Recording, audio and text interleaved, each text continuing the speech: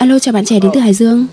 Vâng, em chào chương trình ạ. Vâng, Ừm, em ở gần bạn gái đấy. vâng, Thì là em chả thấy kiểu như là mọi bạn em ấy thì là ở gần bạn gái thì nó còn có tí tình cảm với em ở gần bạn gái em chả thấy gì cả.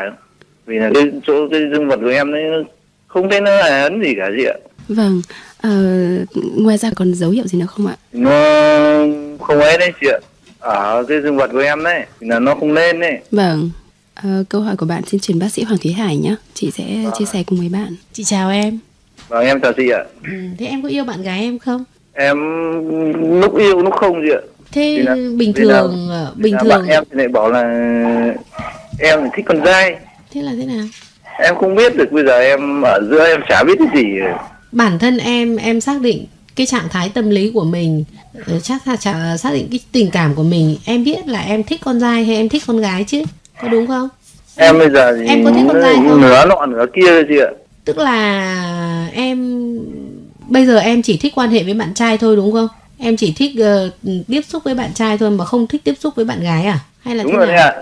Câu chuyện của em nó khác rồi. Nó không như là lúc đầu mình trao đổi với nhau nữa nhé căn bản là lúc lúc đầu là em muốn hỏi như thế để mình ở gần bạn gái đấy. Ừ. nhiều khi có tình cảm nhưng mà cứ đến gần bạn gái đấy thì lại không thấy cái gì nữa cơ chị ạ. Ừ.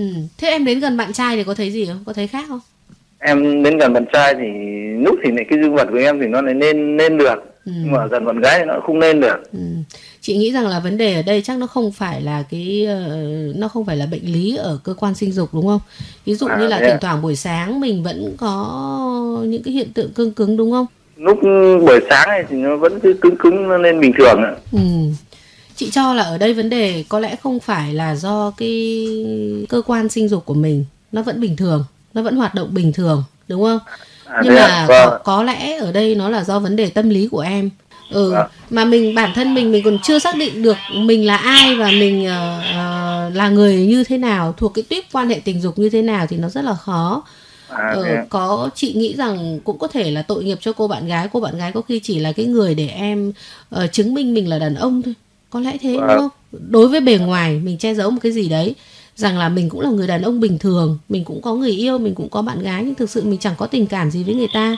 Mà đúng là mình ngồi cạnh một cái người mà mình không có tình cảm gì với người ta, mình không có cảm giác yêu đương, mình không có cảm giác hồi hộp, mình không có cảm giác là muốn được chạm vào người đó đôi khi chỉ cần có khi chỉ cần một cái ôm thôi một cái nắm tay thôi là nó đã nó đã thay đổi cơ thể rồi. Chứ đừng nói là ờ, em có thể ừ, tiếp xúc rất gần với người ta mà em chẳng có một cái phản ứng gì chứng tỏ là em chả có tình cảm gì với người ta cả. Bây giờ em muốn là em tìm lại chính mình ấy. Đúng rồi. Cái đấy cái mà cái quan trọng nhất bây giờ chính là cái tìm lại chính mình xem mình là ai đúng không em? Và Ừ. thực ra cái đấy thì rất rất khó có thể ai có thể giúp được em người ngoài khó có thể giúp được em lắm chỉ À, thế ạ? tự- chính tự tự bản thân mình thôi thực ra mà nói thì với những cái người đồng tính luyến ái ấy, những cái người mà chỉ thích quan hệ tình dục với người nam thôi cùng giới với mình thôi người ta cũng chẳng có lỗi gì cả. Nó do cái một cái vấn đề gì đó nó liên quan đến tâm lý nó gây ra hiện tượng như vậy. Ờ, nhưng mà bên cạnh đó thì cũng có rất nhiều người người ta vượt được qua cái đó. Có một số những bạn mà hồi còn nhỏ người ta ừm, có thể là do rất nhiều các yếu tố khác người ta người ta cảm thấy là người ta có cái hành vi như vậy tức là người ta tưởng thậm chí có những người người ta còn tưởng rằng người ta là những cái người không bình thường về mặt giới tính. Thế nhưng mà nếu như mà người ta tự rèn luyện tự vượt qua được cái điều đấy để trở thành một người bình thường thì chị tin là sẽ làm được.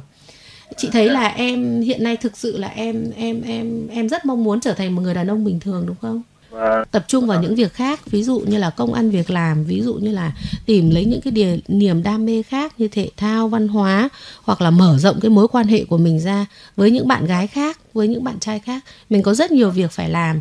Bên cạnh đó thì mình tự tìm hiểu xem mình là ai để mình củng cố những mối quan hệ đấy. Nhưng trên quan điểm em cố gắng mình trở thành một người đàn ông đích thực. Em nhé. Cảm ơn bác sĩ Hoàng Thúy Hải, cảm ơn bạn đã điện thoại đến chương trình. Chúc bạn được gặp nhiều may mắn trong cuộc sống và trong tình yêu.